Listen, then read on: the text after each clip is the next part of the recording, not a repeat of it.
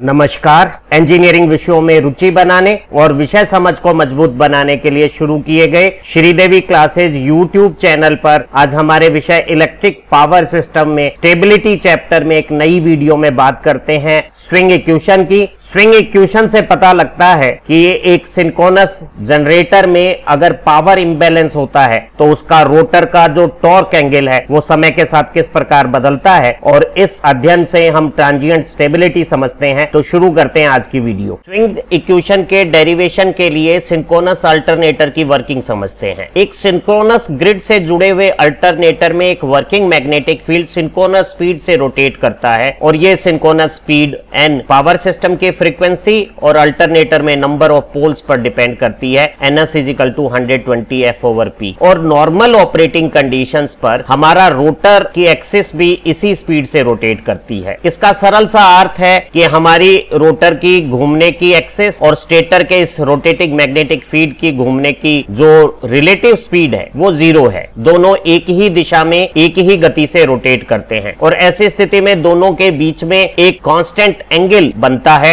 इस एंगल से मशीन की आउटपुट पावर का कंट्रोल होता है और इस एंगल को हम लोड एंगल या टॉर्क एंगल कहते हैं। लोड एंगल का मान मशीन की लोडिंग पर वो कितना इलेक्ट्रिक भार जनरेट कर रही है, उस पर डिपेंड करता है। और हमारी जो पावर इक्वेशन है, उसके अनुसार मशीन की आउटपुट पावर में ये जो डेल्टा है, वो लोड एंगल है। और यहाँ ई e हमारी मशीन के नो लोड पे एक्साइटेशन वोल्टेज है। वी आर उस बस बार की वोल्टेज है, जिससे हमारा जनरेटर जुड़कर आगे लोड को पावर दे रहा है। और एक्सेक्ट जनरेटर और हमारे पावर सिस्टम के बीच में सिस्टम का सिंकोनस रिएक्टेंस है। और आप देखिए, जब ये लोड एंगल डेल्टा बढ़ता है तो हमारा जो स्टेबल जोन है ऑपरेशन का, उसमें पावर साइनोसोइडल फ़ंक्शन के के हिसाब से बढ़ती है और डेल्टा के 90 डिग्री पे ये पावर अधिकतम स्थिति को पाती है, जिसे स्टडी स्टेट स्टेबिलिटी लिमिट कहते हैं। इसके बारे में ज़्यादा चर्चा हम अगली वीडियो में कर रही हैं। तो हम समझ सकते हैं कि सिंकोनस ग्रिड से जुड़े हुए अल्टरनेटर में एक सिंकोनस रोटेटिंग स्टेटर का मैग्नेटिक फ़ील्ड है, जो एक कांस्टेंट स्पीड से एंगुलर मोशन करता है और जो अल्टरनेटर का रोटर है, वो उसके साथ एक लोड एंगल डेल्टा बनाता है और इस डेल्टा का मान अल्टरनेटर के इलेक्ट्रिक पावर आउटपुट से डिपेंडेंसी फ्रीक्वेंसी रखता है। एक जनरेटर के स्टेडी स्टेट ऑपरेशन के दौरान जब वो एक कांस्टेंट सिंकोनस स्पीड से रोटेट हो रहा है, उसकी शाह पे जो मैकेनिकल इनपुट पावर आ रही है और वो जो इलेक्ट्रिक पावर लोड की डिमांड के हिसाब से जनरेट कर रहा है, उसमें एक बैलेंस एग्जिस्ट करता है। एक जनरेटर इलेक्ट्रिक आउटपुट जनरेट करते समय एक इलेक्ट्रोमैग्नेटिक टॉर्क बनाता है, जो शाह पर घुमाने के लिए लगाए गए शाफ्ट टॉर्क के इक्वल और ऑपोजिट काम करता है। और ऐसी स्थिति में जब दो टॉर्क शाफे मैकेनिकल इनपुट का टॉर्क शाफ्ट टॉर्क टीएस और जनरेटर में इलेक्ट्रोमैग्नेटिक इंट्रेक्शन से बना हुआ ये torque TE equal and opposite होते हैं। तो कोई नेट टॉर्क इस रोटर शाफ्ट पे नहीं चलता। और रोटर एक कांस्टेंट स्पीड पे ज़ीरो एक्सेलरेशन के साथ रोटर की मैग्नेटिक एक्सेस और रोटेटिंग मैग्नेटिक फ़ील्ड की एक्सेस के बीच में एक फिक्स लोड एंगल के साथ चलता है। और इस लोड एंगल का मान जनरेटर के इलेक्ट्रिक आउटपुट पे डिपेंड करेगा। अगर इलेक्ट्रिक आउटपुट हमें ज़्यादा चाहिए तो ये एंगल रोटर की एक्सेस और रोटेटिंग मैग्नेटिक फ़ील्ड के बीच में बढ़ जाएगा। एक सिंकोनस अल्टरनेटर में पावर बैलेंस कंडीशन पे जब मैकेनिकल इनपुट और इलेक्ट्रिकल आउटपुट इक्वल हो रोटर के रोटेशन के समय मैग्नेटिक फ़ील्ड जो रोटर बना रहा है उसकी एक्सेस और स्टेटर के अंदर जो resultant magnetic field synchronous speed से घूम रहा है उसके बीच में रिलेटिव एंगल लोड एंगल नियत रहता है। दोनों की स्पीड सेम रहती है। लेकिन अचानक अगर हम रोटर मोटर की लोडिंग में शाफ्ट पर अचानक चेंज कर देते हैं। उसका इलेक्ट्रिक लोड बढ़ाएँगे, मान लो तो ये इलेक्ट्रोमैग्नेटिक टॉर्क बढ़ता है और हमारा रोटेटिंग सिस्टम डी एक्सलरेट होने लगेगा। और अगर हम इलेक्ट्रिक लोड को घटा देते हैं या शाफ्ट पर मैकेनिकल इनपुट को बढ़ा देते हैं तो हमारा रोटेटिंग स्ट्रक्चर एक्सेलरेट होने लगता है। और ऐसी स्थिति में रोटर के रोटेशन की स्पीड फ़ील्ड के सिंकोनस स्पीड से डिफरेंट हो जाती है, क्योंकि सिंकोनस अल्टरनेटर एक इनफाइनाइट बस सिस्टम से जुड़ा हुआ है, जिसकी फ्रीक्वेंसी फिक्स है। उस फ्रीक्वेंसी के अनुसार स्टेटर के रिजल्टेंट मैग्नेटिक फ़ील्ड की rotating speed synchronous speed constant है। अगर ये एंटी क्लॉकवाइज डायरेक्शन में ओमेगा एस स्पीड से चल रही है और टी ज़ीरो पे अगर इसकी स्थिति इस रेफरेंस एक्सेस के अलोंग थी तो किसी समय टी पर स्टेटर के इस फ़ील्ड की angular position omega S T हो जाएगी। और अगर हमारा रोटर का फ़ील्ड एक्सेस स्टेटर के रोटेटिंग फ़ील्ड एक्सेस के साथ डेल्टा एंगल बना रहा है तो रोटर स्टेटर का एक फिक्स रेफरेंस से एंगल समय के साथ ये स्वरूप रखेगा। यहाँ थीटा रोटर के रोटेशन के दौरान रेफरेंस एक्सिस से बना हुआ ये एंगल है और डेल्टा रोटर के रोटेशन से उसकी जो फ़ील्ड एक्सिस है और स्टेटर का जो रोटेटिंग फ़ील्ड है, उसके बीच का लोड एंगल है और ओमेगा एस हमारे सिस्टम की फ्रीक्वेंसी और अल्टरनेटर में पोल के हिसाब से एक फिक्स सिंक्रोनस स्पीड है। अर्थात मैकेनिकल प्राइम मूवर की मदद से रोटर में डीसी एक्साइटेशन से बना हुआ मैग्नेटिक फ़ील्ड की एक्सिस एक रेफरेंस के साथ लगातार अपना कोण समय के साथ बदलती है और ये कोण सिंकोनस रोटेटिंग स्टेटर के मैग्नेटिक फ़ील्ड से अल्टरनेटर के पावर आउटपुट के हिसाब से बने हुए लोड एंगल और जब हमारा रोटेटिंग मैग्नेटिक फ़ील्ड स्टेटर का ओमेगा स्पीड से घूमता है तो ये जो रोटर का एंगल है थीटा वो समय के साथ इस प्रकार बदलता है। इस एक्सप्रेशन को अगर हम डिफ्रेंशिएट कर दें तो टी का डिफ्रेंशिएशन टी के रेस्पेक्ट में वन हो गया और ये d delta by d t हमारे अल्टरनेटर में लोड के वेरिएशन से अगर लोड एंगल समय के साथ बदलता है तो उसकी परिवर्तन की दर हो गई है। और अगर इसी समीकरण को दोबारा डिफ्रेंशिएट करें तो जो सेकेंड डेरिवेटिव है हमारे रोटर के एंगुलर डिस्प्लेसमेंट का, जिसे हम रोटर का एक्सेलरेशन भी कहेंगे, वो हमारे अल्टरनेटर में लोड एंगल या टॉर्क एंगल का समय के साथ सेकंड डेरिवेटिव के बिल्कुल बराबर हो गया है। ध्यान रहे, यहाँ थीटा और डेल्टा दो अलग अलग कोण है, लेकिन दोनों के सेकंड डेरिवेटिव एक समान आ गए हैं, क्योंकि हमारे इनफाइनाइट बस सिस्टम में ओमेगा एस कांस्टेंट है, और कांस्टेंट का जब दोबारा डिफ्रेंशिएशन करेंगे तो वो ज़ीरो हो जाएगा। ये थीटा रोटर के मैग्नेटिक फ़ील्ड का मैकेनिकल प्राइम मूवर से रोटेट करते समय एंगुलर डिस्प्लेसमेंट है किसी रेफरेंस एक्सिस से और सेकेंड डेरिवेटिव निश्चित रूप से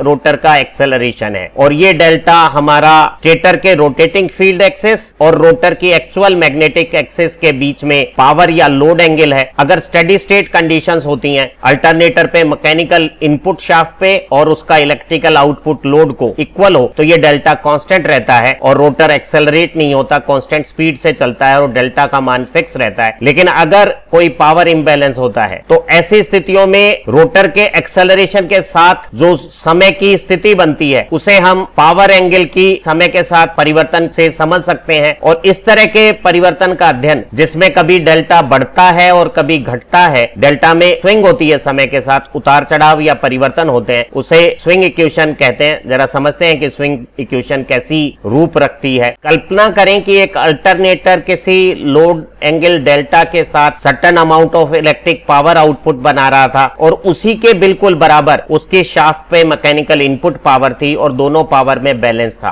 अचानक अल्टरनेटर में स्टीम का इनपुट बढ़ा दिया जाता है। अल्टरनेटर का इलेक्ट्रिक आउटपुट ज़ीरो समय में बदलेगा नहीं तो अपने आउटपुट के हिसाब से जो इलेक्ट्रोमैग्नेटिक टॉर्क अल्टरनेटर बना रहा है, वो यथावत रहेगा और मैकेनिकल इनपुट से शाफ्ट पे टॉर्क बदल गया है, बढ़ गया है। तो हमारे रोटेटिंग स्ट्रक्चर पे शाफ्ट के टॉर्क और जनरेटर में इलेक्ट्रोमैग्नेटिक टॉर्क का जो अंतर है, वो एक एक्सेलरेटिंग टॉर्क का काम करेगा। हमें पता है रोटेटिंग सिस्टम के इनर्शिया में, यहाँ जे रोटेटिंग स्ट्रक्चर का इनर्शिया है, जिसमें हमारे अल्टरनेटर के रोटर के साथ साथ प्राइम मूवर जो स्टीम टर्बाइन हो सकती है या एक हाइडल टर्बाइन हो सकती है, उस टर्बाइन स्ट्रक्चर का भी रोटेटिंग स्ट्रक्चर का मोमेंट ऑफ़ इनर्शिया इंक्लूडेड है। तो सारे रोटर स्ट्रक्चर का ये जे मोमेंट ऑफ़ इनर्शिया है। तो जो एक्सेलरेटिंग टॉर्क बनेगा शाफ्ट पे मैकेनिकल इनपुट टॉर्क बढ़ गया है और इलेक्ट्रोमैग्नेटिक टॉर्क यथावत है तो जो दोनों का अंतर है एक्सेलरेटिंग टॉर्क वो एक्सेलरेशन करेगा। और हमने जाना है कि रोटर के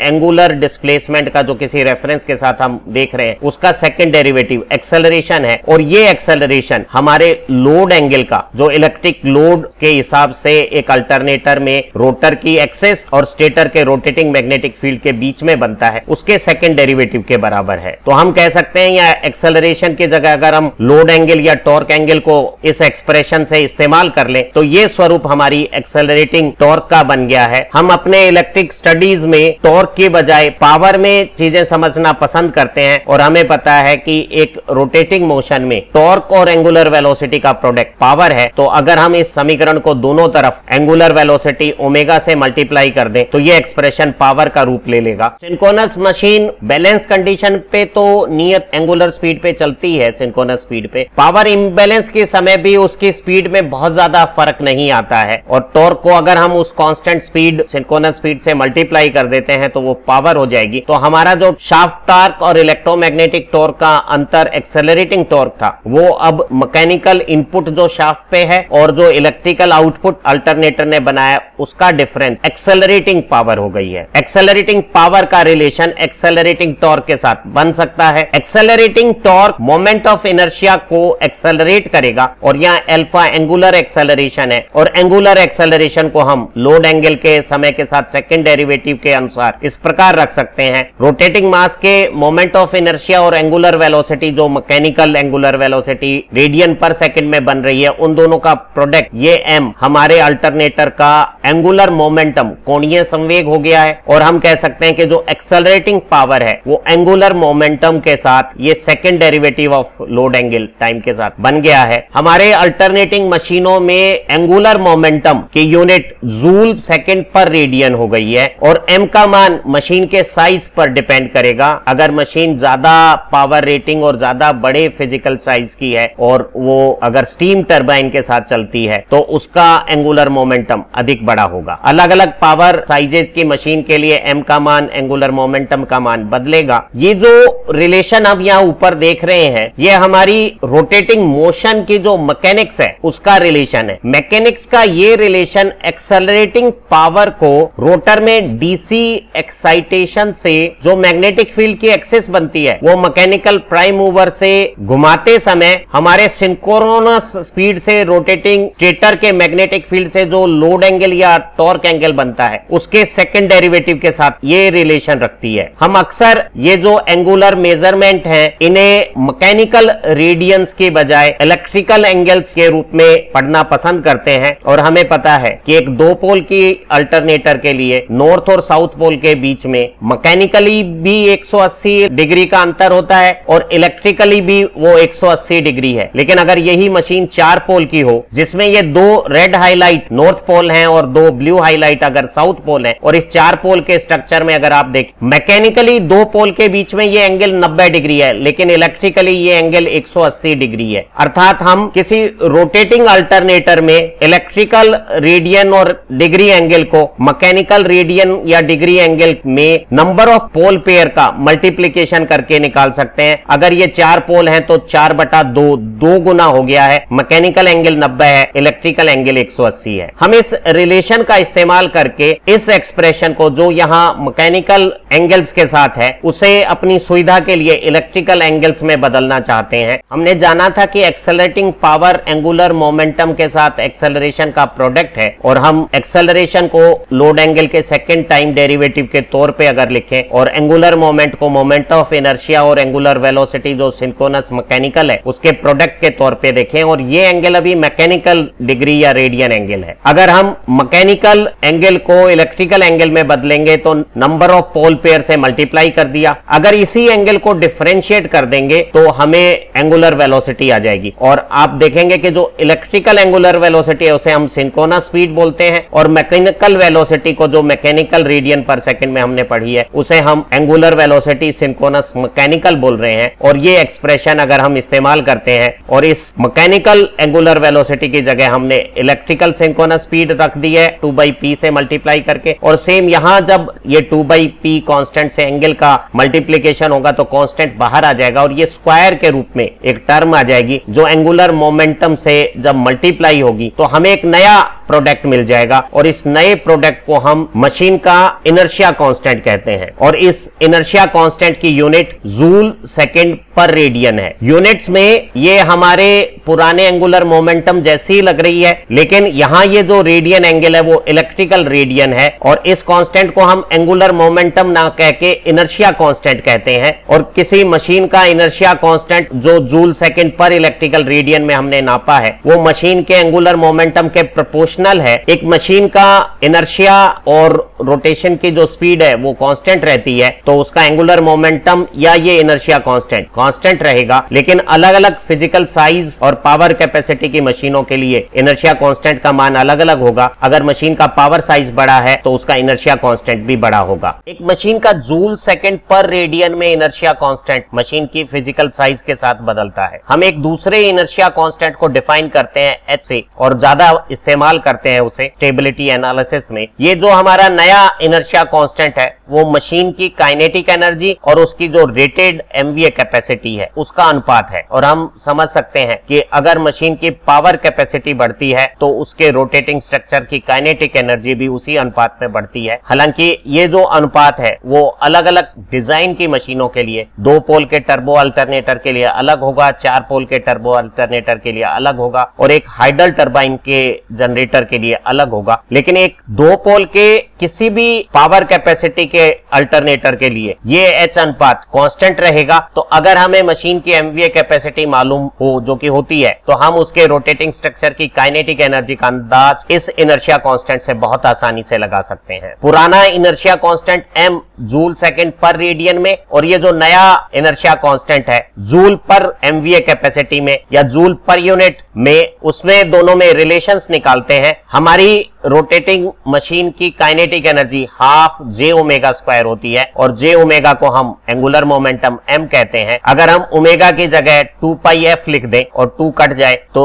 ये हमारी सिस्टम की फ्रीक्वेंसी और हमारा जूल सेकंड पर रेडियन में जो इनर्शिया कांस्टेंट एम है, उसके बीच में रिलेशन हो गया है। मैच को अगर डिफाइन करूँ तो वो काइनेटिक काइनेटिक एनर्जी जो हमने M inertia constant pi F पाया है, और रेटेड एमवीए उसका अनुपात है। इस एक्सप्रेशन से मैं इनर्शिया कांस्टेंट एम की वैल्यू प्राप्त कर सकता हूँ। और वो हो गई है G H upon pi F जहाँ जी मशीन का रेटेड एमवीए है। एच हमारा इनर्शिया कांस्टेंट है। एफ़ सिस्टम की फ्रीक्वेंसी है। आप पाई रेडियन की जगह 180 डिग्री भी लिख सकते हैं। और एम की यूनिट जैसे हमने कभी पहले कहा है मेगा जूल सेकेंड पर इलेक्ट्रिकल रेडियन आ गई है। अगर हम इस एक्सप्रेशन में, जो एक्सेलरेटिंग पावर का एक्सप्रेशन हमने बनाया था लोड एंगल के सेकेंड टाइम डेरिवेटिव के साथ, यहाँ एम की जगह अगर ये G H upon pi F लिख दें, ये जो पीले हाईलाइट में स्वरूप आया है, इस एक्सप्रेशन को हम स्विंग इक्वेशन कहते हैं, जो समय के साथ हमारे लोड एंगल में होने वाले परिवर्तन, उतार चढ़ाव स्विंग को एक्सेलरेटिंग पावर के साथ कैसे बनता है, उसे समझाता है। और किसी इनर्शिया कांस्टेंट और पावर रेटिंग की मशीन में ये असर कैसा रहता है, किसी पर्टिकुलर एक्सेलरेटिंग पावर पे, उसे समझाता है। ये स्विंग इक्वेशन जो रोटर के मैग्नेटिक फ़ील्ड एक्सेस की रोटेशन के समय जो पोजीशन बनती है, उसकी relative position synchronous rotating stator के फ़ील्ड के साथ क्या है और समय के साथ वो किस प्रकार बदलती है, उसे प्रदर्शित करता है। और ये समीकरण का एनालिसिस किसी एक्सेलरेटिंग पावर के समय हमारा सिंकोनस सिस्टम स्टेबल रहेगा या नहीं रहेगा, उसके एनालिसिस के लिए काम में आता है। इस इक्वेशन के सोल्यूशन से हम समय के साथ हमारा पावर एंगल कैसे बदलता है, उसका पता लगा लेते हैं। और अगर किसी एक्सेलरेटिंग पावर के कारण ये लोड एंगल समय के साथ बढ़ता बढ़ता कहीं रुक जाता है और वापस किसी नए फिक्स लोड एंगल पे पहुँच जाता है तो हम कहते हैं कि सिस्टम स्टेबल है। और लोड एंगल का किसी पावर डिस्टरबेंस के साथ एक्सेलरेटिंग पावर के साथ, समय के साथ लगातार एक ही दिशा में बढ़ते रहना अनस्टेबिलिटी को इंडिकेट करता है। एक्सेलरेटिंग पावर की लोड एंगल के साथ ये जो स्विंग इक्वेशन है, वो एक सेकेंड ऑर्डर की नॉन लीनियर डिफरेंशियल इक्वेशन है। और हम अपनी अगली वीडियो में पाएँगे कि इसका सामान्य तरीके से फॉर्मल तरीके से कोई सॉल्यूशन फिजिबल नहीं है। एक स्टेप बाय स्टेप सॉल्यूशन थोड़ा सरलता से इस नॉन लीनियर इक्वेशन को हल करने का एक तरकीब बताता है, जिसमें हम छोटे समय अंतराल में डेल्टा कितना बदलेगा किसी दिए हुए एक्सेलरेटिंग पावर के लिए, इसकी कैलकुलेशन करते हैं। इस स्टेप बाय स्टेप मेथड को मॉडर्न हाई स्पीड हमारे जो डिजिटल कंप्यूटर्स के प्रोग्राम है, वो हल करने की कोशिशें करते हैं। लेकिन एक ज़्यादा सरल तरीका इस स्विंग इक्वेशन को ग्राफिकल प्रैक्टिकल तरीके से हल करने का इक्वल एरिया क्राइटेरिया है। हमारी अगली वीडियो में इसके बारे में हम बहुत बेहतर तरीके से समझेंगे। जो अचानक मशीन की एक्सेलरेटिंग पावर स्थितियों में, चाहे वो किसी लोड के चेंज आने से या लाइन की फॉल्ट कंडीशन आने से आता हो, हम ये जानकारी कर सकते हैं कि हमारा सिस्टम स्टेबल रहेगा या अनस्टेबल रहेगा और किसी सिस्टम की वो अधिकतम कार्य क्षमता जिस पर उसकी झटकों के बावजूद भी ट्रांजिएंट कंडीशंस में भी स्टेबिलिटी मेंटेन रहती है, उसे हम ट्रांजिएंट स्टेबिलिटी लिमिट्स कहते हैं, उसका भी हम पता लगा सकते हैं इक्वल एरिया क्राइटेरिया से। और किसी फोल्ट की कंडीशन में फोल्ट क्लियरिंग टाइम का कितना इंपॉर्टेंस है, उसे भी हम इक्वल एरिया क्राइटेरिया से समझ सकते हैं। तो हमारी अगली वीडियो में जब हम इक्वल एरिया क्राइटेरिया की बात करेंगे तो आपको स्टेबिलिटी की ये कंसेप्ट निश्चित रूप से बहुत अच्छी तरह से समझ में आ जाएगी। आप अच्छा पढ़े, तरक्की करें have nice time happy learning और हमारी सारी वीडियो देखने के लिए आपका बहुत बहुत धन्यवाद।